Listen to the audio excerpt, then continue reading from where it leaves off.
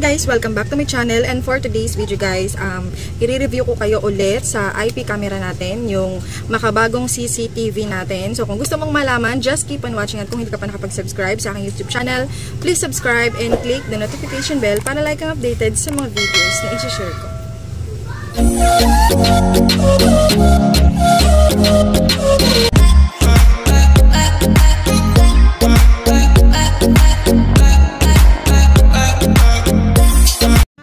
Welcome back. Bali ang pag-uusapan natin ay all about IP camera. So si IP camera is nabili ko siya through online sa Shopee, meron din siya sa Lazada. Ang price niya guys is nasa 700 pesos. Pa-sale yun. Pero kapag hindi siya naka-sale, um, nasa 1,000 plus po siya. And ang shipping fee dito sa amin is 45 pesos. So meron naman tayong mga voucher na free shipping fee na pwede nyong um, lay sa inyong um, Shopee cart or kapag orderin nyo na si IP camera. So guys, dito sa tindahan namin, meron akong apat na IP camera. Ipapakita ko sa inyo kung saan-saan ko siya inilagay.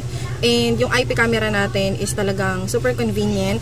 Uh, lalo na uh, marami siyang benepisyong ibinibigay lalo na kung meron tayong mga tindahan. And kung gusto nyong malaman kung paano siya gumagana, meron pa akong uh, tutorial. Unang video ko to kay, kay IP camera.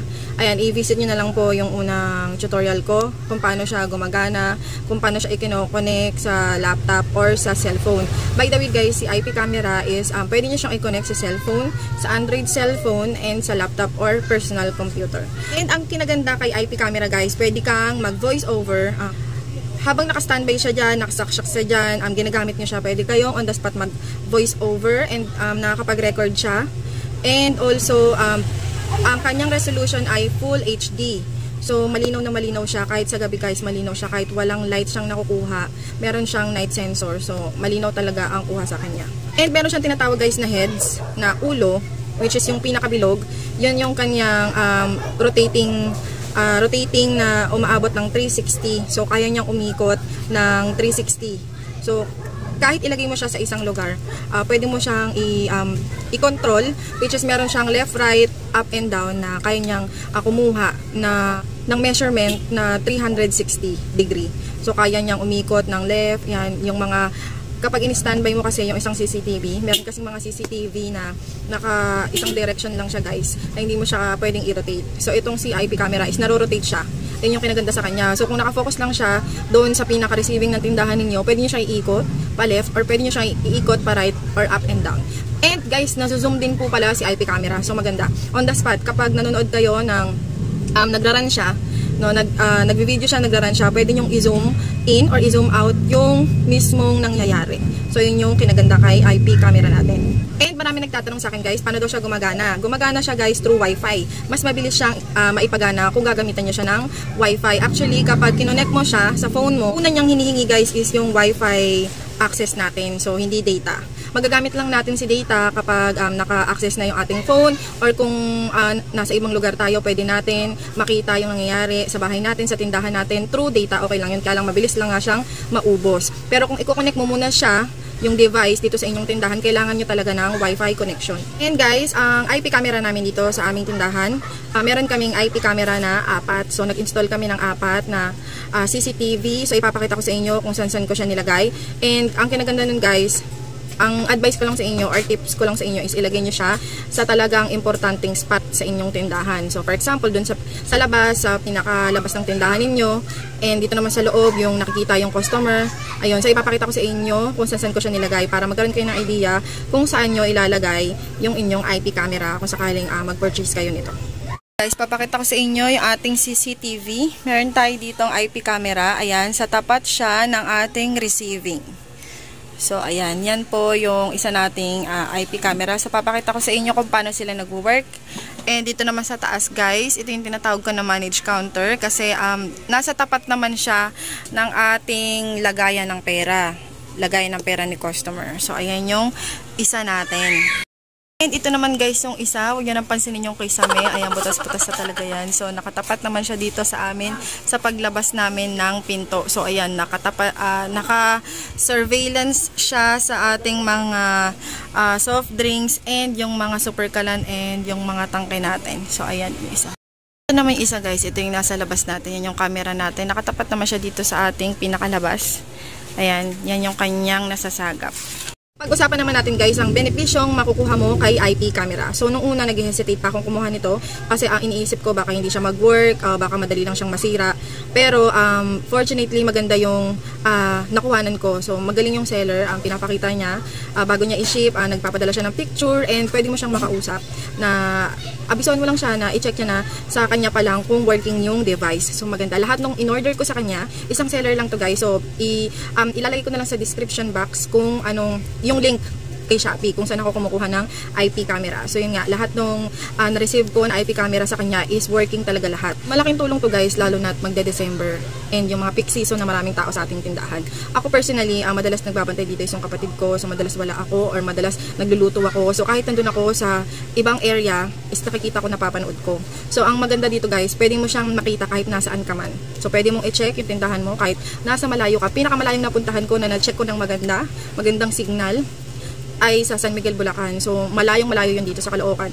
So, talagang na-check ko siya ng maayos. Nakita ko, um, na-monitor ko yung tindahan namin kahit na wala ako mismo sa tindahan namin. And ang kinaganda nito guys, um, dito kasi sa tindahan namin marami ako na-experience.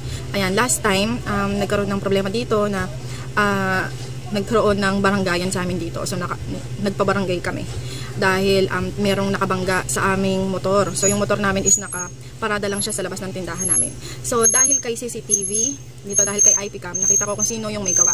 So syempre, um, initial reaction nung mga kabataan na yun is hindi daw sila yung um, gumawa pero dahil nga may katibayan ka at nakita mo sa CCTV, so wala na silang nagawa. So yun yung kinaganda ng CCTV. Meron kang proof, meron kang ebidensya kung sakali. And madalas dito guys, um, yung mga bumibili dito is uh, sabihin nila 15 binigay nila kahit hindi naman 100 binigay nila kahit hindi naman. So on the spot pwede nating reviewin ng ating IP camera. So um, ang gamit ko laptop. Um, nakabukas lang siya ng 24 hours. So yung laptop natin bilhan natin siya ng mini fan para hindi siya mag-init. So ayun. Kasi kay laptop guys automatic nagre-record siya. So on the spot, kung gusto mong i-review kung talaga bang binigay niya is 100, ayun, pwede mong um, balikan yung video na yun. So on the spot, pwede mong um, uh, makita kung talaga bang nagsasabi ng totoo si customer. And sa, sa phone naman, sa Android phone, um, yun nga, hindi siya nakakapag-record agad-agad. So, ikaw mismo ang magre-record. Kaya mas maganda na two gadgets yung gamitin mo. Uh, yung laptop or yung personal computer para um, tuloy-tuloy yung record niya and pwede mo naman yung burahin kung nyari wala namang nangyari sa araw na ito, sa gabing ito. So the next day pwede mo naman siyang burahin and another um, another data na naman yun kay laptop. And last guys, may nagtanong sa akin, may nag-comment doon sa dati kong video na worth it ba magkaroon ng IP cam. So sagot ko dyan is super worth it talaga. Una-una nakakatulong to sa pagresolve ng mga problema dito sa ating tindahan. Like yun nga, na meron kasing mga budol-budol, meron kasing uh, hindi natin masasabi may mga manluloko talaga na mga tao. So um, pag meron kang IP cam, malalaman mo ang mga modus nila. Sobrang makakatulong to sa inyo, lalo na sa mga manloloko, lalo na ngayon guys, magde-December na, talamak yung mga fake money. Yan, doon pa lang malalaman nyo kung sino yung nagbigay sa inyo, sino nag-abot sa inyo. And yun nga, super worth it niya kasi kahit saan man ako magpunta, is na monitor ko yung nangyayari dito sa aming tindahan. Sa price na 700 guys, meron ka ng CCTV na, actually yung CCTV na to is super tagal na sa akin, mag 1 year na to, pero okay pa rin siya. And yun nga, yung pinakita ko sa inyo, yung isa kong CCTV sa labas is naanggihan niya ng ulan, na, nababasa siya. Pero ayun, working pa rin siya. Disclaimer guys, um, hindi ko sinasabi sa inyo na waterproof ang ating CCTV kasi kung um, babasahin nyo yung features niya is wala namang nakalagay doon na waterproof. So ayun nga, um, napansin ko lang yun kasi madalas nga naanggihan siya ng tubig pero working pa rin naman siya. And yun nga, sa sulit na sulit yung price niya, talagang okay na okay siya. And yung CCTV namin dito guys, hindi ko yan pinapatay uh, all day siyang nakasaksak. 24 hours actually nakasaksak siya. So okay naman, okay lang kung gusto niyo siyang patayin sa umaga or sa gabi niyo na lang siya buksan, nasa sa inyo yun. Pero dito kasi is, um, hindi siya umiinit kapag sinaksak niyo siya ng 24 hours. So yun yung maganda sa kanya. Madali siyang i-install guys. Meron naman siyang kasamang um, kanyang lagayan or yung kanyang uh, bracket para ilagay mo siya sa kung saan. So meron na rin siyang mga screw kaya madali siyang i-install sa kahit saang lugar sa inyong bahay or sa tindahan or kahit saan. So ito nga guys, meron akong limang IP camera dito sa, uh, naka-install dito sa apps ko kasi yung isa isa bahay. So ito papakita ko sa inyo, yung sinasabi kong money counter, ito. Nakatapat po siya mismo sa receiving area ko. So nakikita ko, nalalaman ko kung magkano yung binigay ni customer. Ayan, kung uh, meron bang pumuslit dyan, kumuha ng uh, mga chichirya namin. So nakikita namin kung ano yung ginagawa ng kanilang kamay. And dito naman sa harapan, sa front, ayan, ito. Ito yung sinasabi ko sa inyo, pwede siyang i-rotate ng 360. So ayan, ayan. Ito yung ating receiving. Pwede mo siyang, ayan, itaas or ibaba. And nasuzoom siya guys. Ayan. Yan yung kinaganda kay IP camera. So, kahit anong gustuin mong gawin is magagawa mo. And dito naman, ayan, ito. Ito, nakikita natin yung ating mga super kalan and uh, yan, yung mga soft drinks natin. And ayan, kapag tinaas ko siya, yan, nakikita naman yung sa exit namin. Yan yung ating kolong-kolong. Ayan. And yung isa guys is dito sa shop mo to. Ayan, nilagay ko kasi yan yung nilagay kong pangalan. So, ito naman makikita mo dito yung customer. Ayan, kung sino yung customer and kung ano yung binibigay naman ng ating tindera sa customer. Ayan. Ayan, nakita rin ako guys. Ayun. So, ayan. And ito, um, ito naman sa bahay. Ayan, di ba? Kahit wala ako sa bahay is nakikita ko kung ano nangyayari sa bahay. So, ayun lang guys. Nga guys ang sharing ko for today. Sana nakatulong sa inyo. And yun nga, sa mga hindi pa nakapag-subscribe sa aking YouTube channel, please subscribe and click the notification bell para like and updated sa mga videos na isi-share ko.